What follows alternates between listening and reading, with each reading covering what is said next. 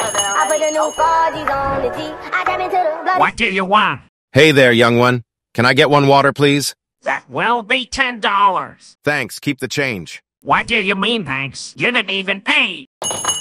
He's gone. This is a robbery. Get on the ground now. Stop it, you guys. Don't do it. Well, I guess we'll just leave then. Have a good one.